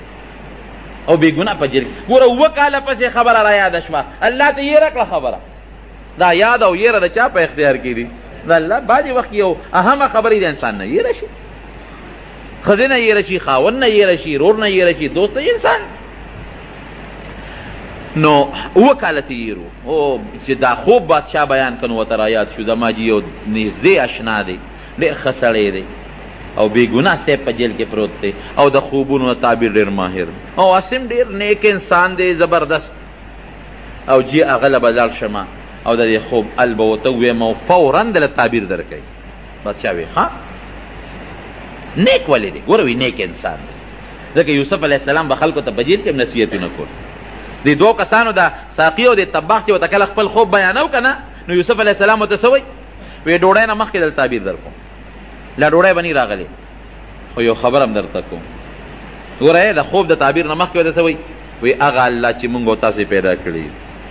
هغه الله ګوره شریک نه لري زه په هغه دین يم چې کوم دین د ابراهیم علیه السلام او د یعقوب علیه السلام دی دغه الله مونږ سره لوی احسانات کړی دي مونږ سره ډېر انعامات کړی دي او ګوره پام کوه زه د دې خلکو د دې دین د دې شرک نه بیزار یم تاسو به هم شرک نه کوئ د یو الله د توحید داعیان به جوړېږئ هلته هم د الله د یووالي او د رب العالمین د توحید هغه تبلیغ کو په جیل کې جیخ کې جیل کې لګیا دی خپل تبلیغ کوي خلکو ته د نیکۍ نصیحت کوي د شرک نه او د کفر نه د خلکو زړه توروي نو دی وی بادشاه ته چې ډېر نیک سړی دی ډېر ښه سړی دی ورته پته وه ځم جي د هغه نه د تعبیر وباسم نو لړ راغی یوسف علیه السلام ته اې زما یوسف وروره اې دوسته زه خو راغلی ما او یو خوب زمونږ بادشاه لیدی دی او دا هغه خوب تعبیر وته وباسه او جی که تعبیر دی ورته وویسته که نه نو بادشاه ته به پته ولګي نو تا به فورا راخلاص کړي اوس که یوسف علیه السلام غوندې اووه کاله پس جیل کې تیر شو نو که زما غوندې سړی وې ښه تا ته د اووه کاله پس زما خبره یاده شوه اشنا تا ته ما ویلو چې ما بادشاہ ته یاد کا نو تا زه بادشاہ ته ګوره یاد نکړم و کاله مې مفتو کې جیل کې تیر کړل د خدای نیک بخت تا د ما سفارش نه کو ته خو د بادشاہ ساقي وي لیکن یوسف علی السلام ته خو پته ولګی چې اسیم خو کار شوی دی اړو ملامت یې نه کو عفو یې ورته وکړه دی ورته اړو نه وي چې نیک بخت و کاله پسرالی دی ورته اړو نه وي چې تا ګوره بادشاہ ته دا اړو یاد نه کړم دی ورته اړو نه وي چې ستا اړو د خوب اړو جواب نه کومه پرې چې غرق او تباه شی ولې که یوسف علیه السلام په تعبیر دوی پوی نه کی نو حقات راځي او ټول ملک تباه کیږي اوس که بل سړی وي نو به چې پرې چې تباه شی زما سي جیل کې واچول نه کوم د خوب تعبیر درته شرطونه به په لګول چې ما خلاص کې داغې نه پس به د خوب تعبیر کوم نه هیڅ شرط یې په نه لګاو اړو ملامت یې نه کو دا د یوسف علیه السلام عفو او درګذر حالانکه په جیل کې غریب پروت دی مفتو کې پروت دی وې دا څه کار دی بادشاه ته وایا چې اوه کاله به ستاسو یو داسې دور در باندې راځي اوه کاله چې به د فراخ سالی دور به اوه کاله به ستاسو رزقونه او ډوډۍ ګانې او غنمونه او څاروي به هم څاروي او ښه فراخه کال به اووه کاله اووه کاله پس به قحط راځي مکمل قحط چې دا اووه کاله تاسو کوم جمع کړی دا او کوم غله او غنم هم سنبال کړی دي دا به په هغه اووه کاله قحط کې بالکل خلاص شي د هغې نه پس به در باندې بیا یو کال راځي ابه ډېر د بارانونو کالي مزېدار دا خو ستاسو د خوب تعبیر شو اوس به کوسو دی وتعالو نه وي ځه لړ شه او بادشاه ته دې ال ووایه او دې ځل یې ورته دا ونه وایي چې ما ورته یاد کا هغه ته خو پته لګېدلې وه چې مخکې مې دا ټکې وي خو اووه کاله مې پکې تېر کړل بیا ووایم غږ یې ونه کړ ساقي راغی وی بادشاه سلامت هغه دا تعبیر وویسته یاره وی ورشه دا سړی راوباسې دا خو ډېر پوه انسان معلومېږي دا څوک دی راوباسې چا به دا سړی فورا راولې د نظوس معلومات کوم چې دې سره به کوسه دا اووه کاله چې قات راځي په مونږ باندې نو دا اووه کاله غله چې مونږ وکړو نو دا غله خو هر کال غلغلک پیدا کېږي خلک یې خوري نو ټیک دا ډېر فراخه کالم دی نو غله خو نه ټینګېږي چې اووه کاله مونږ بیا په سټورونو کې ساتو هغه زمانه کې دا سټورونه هم نو نو دا به اووه کاله په مونږ قات راځي دا به څه کوو ته ورشه دا لکه راوړه دی ورپسې په اس باندې سور شو جیل ته ورځ غلید مبارک شه یوسف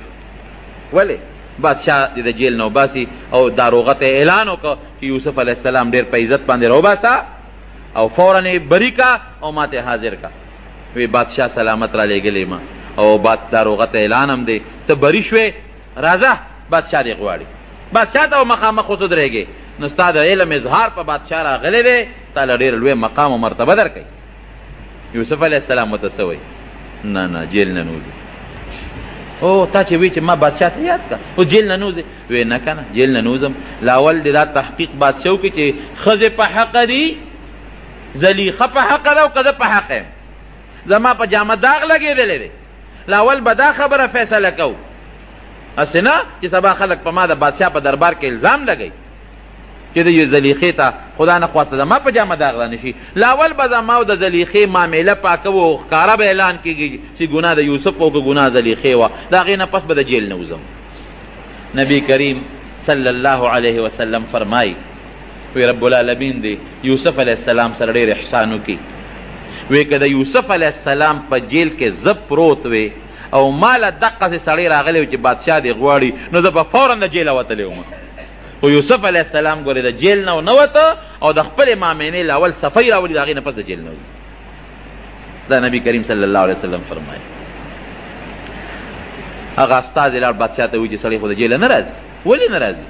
چې د هغه د زلیخې په منځ کې یو لانجه راغلی دی دی په هغې کې جیل ته تللی دی هغه وایي چې له اول د زما او د زلیخې معامله پاکه شي نو د هغې نه پس به زه جیل نه وځم بخلک وای چې دا ګناه جوړ د یوسف وا خو د خوب تعبیر یې وویسته نو ځکه خلاص شو نه نه چې معامله پاکه شي دې نه زموږ علما دا خبره معلومه چې په یو انسان تهمت لګي داسې خطرناک تهمت نو په کار دي چې د هغې صفۍ د خلکو په مخکې راشي خبره به مجمله کې نه پرېږدي چې مجمله کې دې پرېښوده د خلکو له کې به هغه شکونه وي نو چې خبره بالکل پاکه شي نو ښه خبره ده نو یوسف علیه السلام خپله خبره پاکول غوښتل بادشاه ښځې راوغوښتل د ټولو زلیخې هم کېنوله دغه وخت کې د زلیخې خاوند چې کوم خپل عزیز مصر هغه مړ شوی ابوډاو وزیرو مړ شوی زلیخې هم کېنوله او نور خزې هم راوغوښتې هغه خزې چې څو په هغه مجلس کې ناستې وې هم ټولې کېنولې او بادشاه ټولې مخامخ کېنولې وی وایه ټول د بادشاه وزیران او مشیران او د لوی افسران ناست دي زنانه هم ښځې هم ناستې دي ګناه د زلیخې وه او که ګناه ده یوسف وه زلیخه پاسېده وی بادشاه سلامت ګناه زما وه یوسف بالکل پاک هیڅ غلطي په یوسف کې نشته دا ګناه ټوله زما وه غلطي ټوله زما وه بس زه په خپله غلطۍ ستومان یم او علما لیکي مفسرین چې زلیخه د هغه وخت نه چې یوسف علیه السلام جیل ته لاړ په عبادت الله ته پرېوته د الله نه معافي وغوښتله او هر وخت به رب العالمین ته جړل یاالله ستا ذات ډیر ښکلی دی چې یوسف غوندې ښکلی انسان تا پیدا کړی دی الله چې ته به څونه ښکلی رب العالمین ستا ښکلی ذات مې پرېښوده او چې کوم تا پیدا کړی ښکلی دی هغې پسې ګرځم واقعي چې د خشته ګلونو ته وګورئ د ښکلي بوټو ته وګورئ او د خشته او نښو ته وګورئ نو د رب العالمین لوی قدرت پرته معلومیږي دا د رب العالمین د قدرت نښې دي الله دا خو تا پیدا کړی دی یوسف دې دومره ښکلی دی نه الله ته به څومره ښکلی ستا څومره خشته ښکلی قدرت دی نه الله ستا حسن مې پرېښود ته مې پرېښود د انسان حسن پکې شو لویه توبه رب العالمین ته وویستله د الله ذات ته او بس د الله د ذات نه معافي وغوښتل او په عبادت به پرته و الله ته به یې ژړل ارواح د رب العالمین په حضور کې به جلاګانې کولې او دغه وخت کې اقرار هم وکړ چې بالکل یوسف ته ګناه نشته ما ته مطالبه کړې ده او دا غلطي ما کړې ده یوسف علیه السلام ته وی چې بس صفی راله ټولو وزیرانو ته او اهل سلطنت ته او هغه زمانه کې چې کوم ذرایع ابلاغ وو هغې ټولو دا خبره خوره کړله چې یوس د غلطي د زلیخې وه اوس توبهګاره ده د یوسف علیه السلام غلطي نه وه د هغې نه پسې یوسف علیه السلام راوویست د جیل چې راوویست نو د هغه کمیس واغوسته کوم کمیس چې د سره محفوظ پروت و ما درته تېره جمعه ویلي چې ابراهیم علیه السلام په غور کې و او هغه کمیس ورته جبریل علیه السلام اچولی و او بیا هغه کمیس د ابراهیم علیه السلام نه پس اسحاق علیه السلام ته لاړ اسحاق علیه السلام یعقوب علیه السلام خپل زوی له ورکو او یعقوب علیه السلام دا کمیس د ریخمو کمیس و د یوسف علیه السلام په دې غاړه کې اچولی تعویذ غوندې شکل کې د جنت اعلی قسم ریخمو د ریخم استعمال ګوره سړو لمنه دی ښا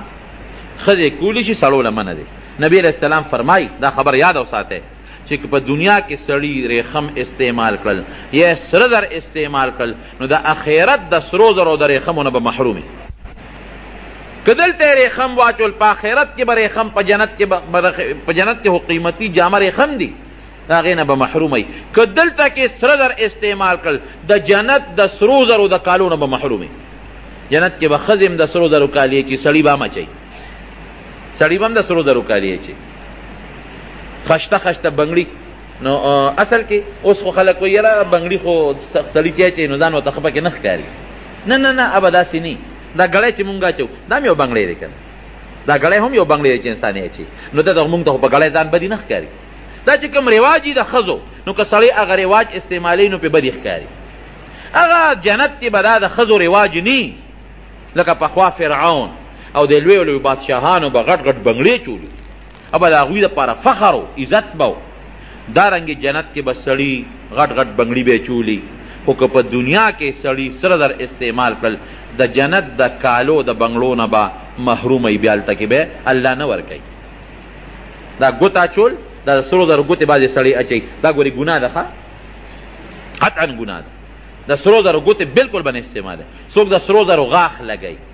څوک د سپینو زرو په کاسه او په جام کې اوبه څکي دا ګناه ده سړو دپاره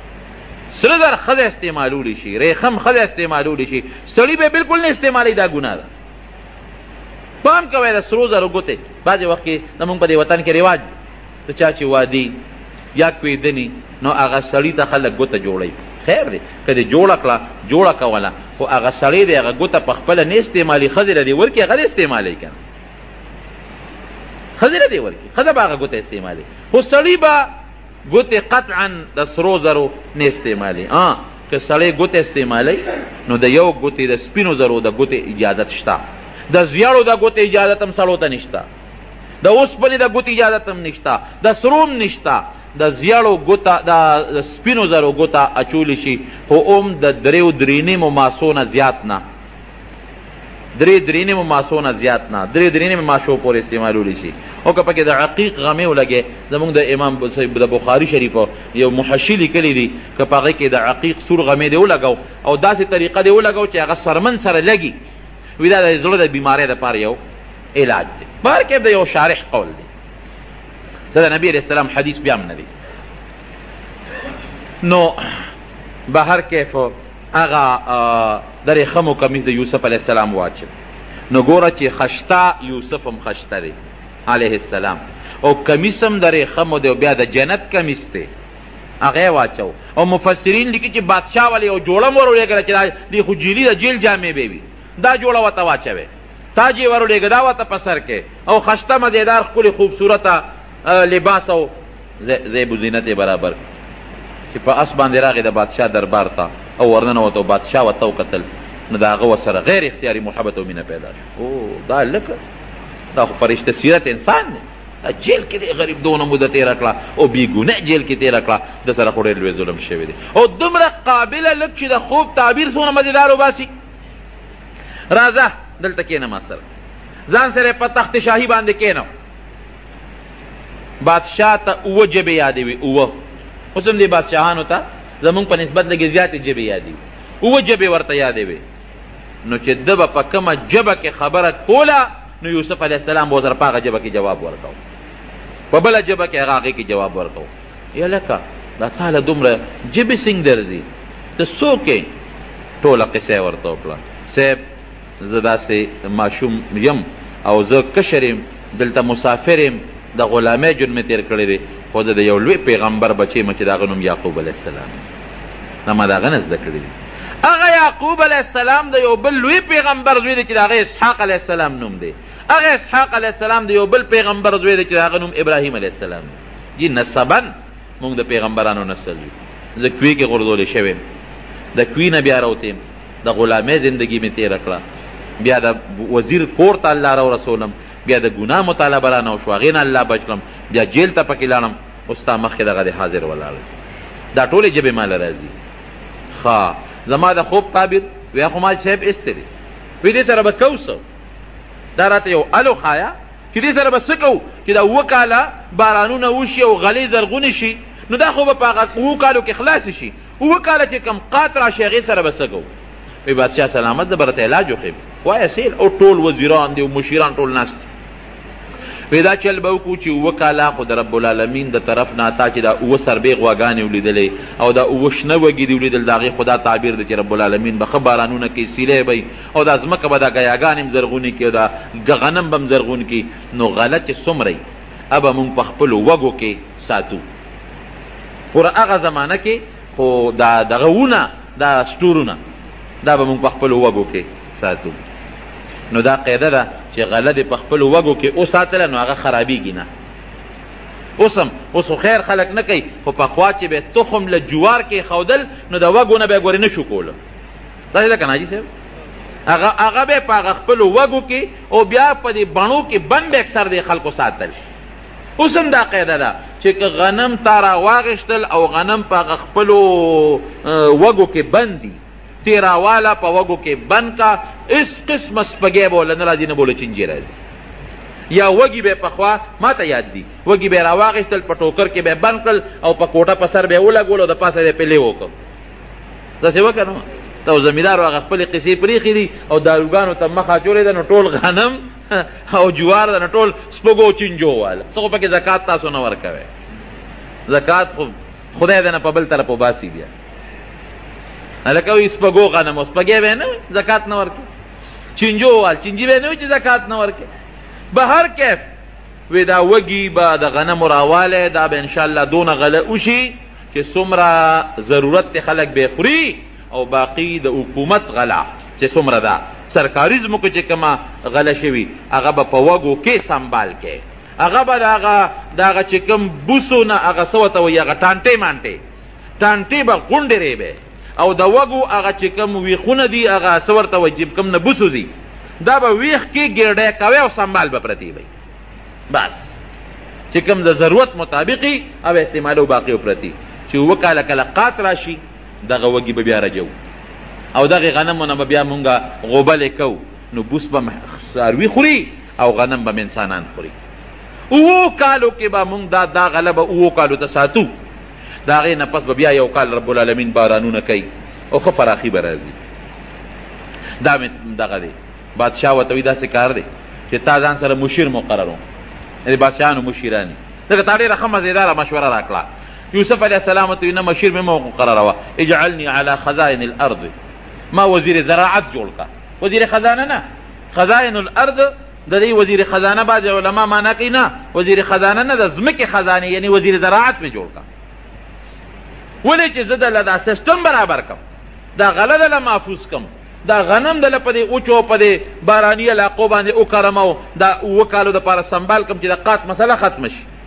بادشاه وی ډیره خره وی انی حفیظ علیم وری زه امانتګر می غلا بنه کوم خیانت بنه کوم کم وزیر کم بادشاه چې هغه غلی خیانتګری ملک بچریم ترقی نه کوي او چې غلنی خیانتګر نی رب العالمین بیا هغه ملک لم ترقی ور کوي نو زه خو حفیظ او علیم په دې خبره پویګم هم الله را لرا پویم را کړل وې دا د نن نه ته وزیر زراعت جوړ کړی نو یوسف علی السلام رب العالمین د کم زینا د کوی نه راواغشت او کوم ځای ته یې ورسو وزیر زراعت یې جوړ کړو دا د رب العالمین نظام دا غټ عبرت دی ان مع العسر یسرا سختی در باندې رب العالمین راولي الله ته ته رجوع کوه ته ګوره الله به د هغه سختۍ بدل درته په اسانتیا درکوي نور بم رب العالمین تعالی سهولت درکې اسانتیا بدر کوي بل دینه دا عبرت چې په سختو کې به یو الله ته رجوع کې ګوره یو الله ته رجوع کې او بل دین علماء یو بل مسله معلومه اسه خو مشری غختل ګناه ده نه بغواړي مشری به نه غواړي خو کته ته یو ځای کې پته ده چې اهل نشتا غیر اهل راضی نو بیا په هغه وخت کې یو سړی مشری غواړي نو جیز دی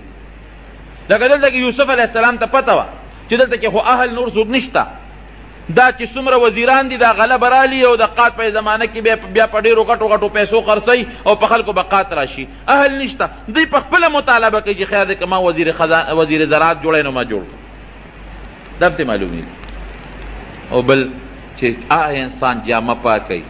او رښتونی انساني دی د هېڅ قسمه پروا نه ساتي رب العالمین به د حفاظت کوي دی به الله ساتي لکه یوسف علیه السلام چې رب العالمین وساتي دا غ تهمت نه پښتانه وي وي تخپل جامه پاکه ساته الله به امداد کوي دا رنګ تخپل جامه پاکه ساته پروا مې ساته که څوک در پسې خبرې کوي که څوک ارڅ کوي رب العالمین بس تا دا پاکه جامه ښکاره کوي او د خلکو د تهمتونو نه به الله ساتي او کله چې بادشاه را غوښتن او هغه دا ویلیو چې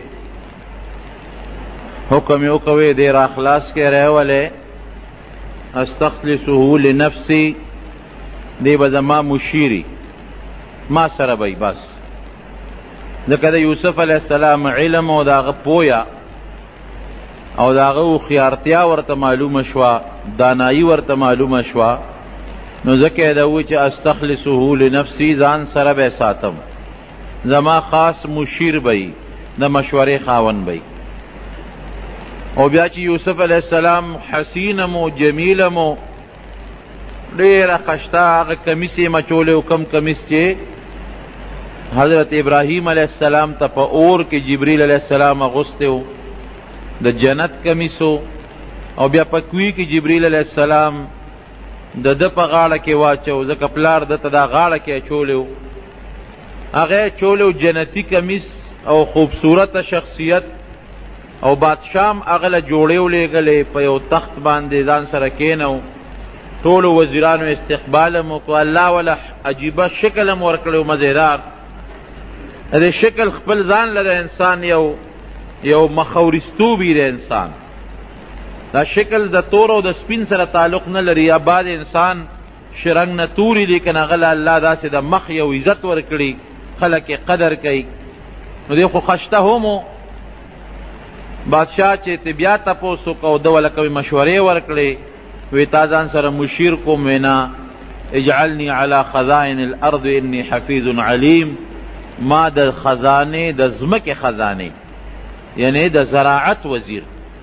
یو خو عام وزیر خزانه نه د ځمکې خزانه خو زراعت ته فصلونه دي او د خوب تعبیر هم دغه طرف ته و چې قات به راځي نو زه ډېره حفاظت ګزاره میم حفاظت کوونکې میم امانتګرې میم پوهېږم الله راله علم پوه هم راکړې ده وی ډېره ښه ده وزیر زراعت یې مقرر دغه درمیان کې چې دی روت هغه عزیز مصر هم مړو کوم عزیز مصر چې دی ورسره مخکې د غلامۍ زندگی تیروله او د هغه چې کومه ښځه و زلیخه چې د یوسف علیه السلام سره محبت و هغه هم تقریبا د بوډاوالي عمر ته رسېدلی و بوډی وه بیا بادشاه ورته درخواست کی دوری منصور لیکلی دی بادشاه ورته درخواست وکړ چې یوسفه داسې وکړه چې دا زلیخه په نکاح واله خاوند یې مړ دی تا سره ډېر زیات محبت او ډېره زیاته مینه وه در سره او د هغې د هغه محبت او د مینې د وجې نه ته جیل ته هم لاړې هغې اقرار هم وکړه چې غلطي زما وه څه ګناه الله د هغې نه هم نه ده صادره کړې هم الله د ګناه نه بچ کړه کومه غټه ګناه چې ده ته خو الله سه مو ساتلې دا زما یو درخواست ومنه د هغې زړه به لږ په قلار شي او خاوند یې مړ دی په نکاح والا نو یوسف علیه السلام دا هغه بادشاه هغه درخواست قبول کو او زلیخې سره بیا نکاح وکړله نکاح نه پس عجیبه زندگی و بیا یو ځل یوسف علیه السلام هغه د ښځې او د خاوند منځ کې چې کوم تعلقات دي هغې ته به زلیخې هېڅ توجه نه ورکوله هېڅ قسمه یو غاړه کې به ناسته وه او نفل به یې کوله الله به یې اده او جړا به یې کوله یوسف علیه السلام ته یو ځل تپوس وکړه زلیخې زه خو هغه مینه محبت چې ستا کوم ما سره مخکې و او ته کوم محبت تی ما سره لرو هغه خو پریدا وا چې کوم د خدي د خاون خپل تعلقي امر سره نه ساتي دا ولي هغه محبت تی څه شو هغه مینه دې څه شو دا هغه وخت غلام او زه وزیر ما او د بادشاه د دربار خاص انسان ما نو ستاغه محبت مینه خو ډیره زیاته وا خو هغه پرېږده وه هغه د ښځې خاوند چې یو سر بل سره کومه مینه یو کم محبت وي هغه هم ما سره اوس نه ساتې دا ولې وی هغه وخت چې زما تا سره کوم محبت او مینه وه زما زړه کې خالص ته پروت وی او ته زما په زړه کې موجود وی خو چې ته جیل ته لاړې او بیا د جیل نه راووتې او ته جیل ته ورسېدې نو ما الله ته رجوع کړې ده د رب العالمین ذات ته مې رجوع کړې ده اوس زما ټول زړه د الله سره دی زما زړه کې اوس هغه شی ختم شوی دی د هغې په ځای ما الله ته ډېر درخواستونه کړي دي ډېرې توبې مې غوښتې دي ډېرې معافۍ مې غوښتې دي او ستا په ځای زما زړه کې الله ناست دی د الله محبت ناست دی هغه څیزونه زما د زړه نه وتې دي ختمه ده هغه خبره بیا الله تعالی دوه زامن د یوسف علیه السلام او د زلیخې نه پیدا کړل یو لور ته الله پیدا کړه هغه لور بیا د ایوب علیه السلام په نکاح کې تل و... و... ایوب علیه السلام ته واده شوه بهر کیف چې دی کله واپس راغی او دی وزیر شو وکاله چې کم خوب لیدل شوی او د هغه خوب مطابق د فراخۍ کالونه شروع شو ځمکې داسې غلې راوچتې کړې غنمان زرغون شو او هغه زمانه کې چې کومه د ځمکې سبزي وه یا د ځمکې غله وه په ډېر وافر مقدار کې هغه خوب لیدل شوی و ده چې اووه کاله به بارانونه مي اووه کاله به غلې هم زرغونې شي او د هغې نه پس به اووه کاله قحطي نو د اووه کاله چې کم غله زرغونه شوه حضرت یوسف علیه السلام ته خو الله علم ورکړی و د هغې دپاره یې غټ غټ ګدامونه جوړ کړل فورا چې ورپسې ورته پته وه الله ښودلې وه د خوب نه چې اووه کاله قات به راځي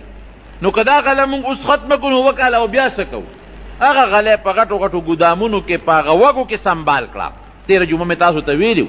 چې وږي کې غله کېږي نه خرابېږي هم نه هغه سنبال کړل او ټوله یې خوندي کړله اووه کاله به چې خلکو خوړل او یې ساتل او چې کم د حکومت ځمکه وه هغه ځمکه کې هم غلې وکرلې که د خلکو نه به کومه غله اوزګاره شوه د خلکو په پټو کې هغه به هم ترې د فورا واغېستله او ټول ګودامونه ډک شو ورپسې اووه کاله قات راغی اووه کاله چې کوم قحط راغی نو بیا به هغه غله یوسف علیه السلام د ضرورت مطابق خرڅوله خلکو سره خپلې غلې هم نه وې د ساتلې وه به یې خرڅوله ضرورت مطابق په پیسو باندې او دارنګه په نورو څیزونو باندې نو د مصر چې څومره خزانه وه هغه د پیسو نه د زرو نه د سرو د سپینو نه بالکل ډکه کړه اوقات داسې و په اووه کاله کې چې د مصر نه بار په میلونو په سوونو میلونو باران بالکل بند و نو کله چې باران بند شي که نه نو ګوره دا رزق که یو سړی وي چې زما ځمکه او زما پټې دی بېشک دا ځمکه او پټې روزي زرغونۍ خو د چا په حکم یې زرغونۍ د الله په حکم الله که باران بند کړ دا نیرونه به بیا نی ختمه وي دا مونږ نه لیدل څه زمانه مخکې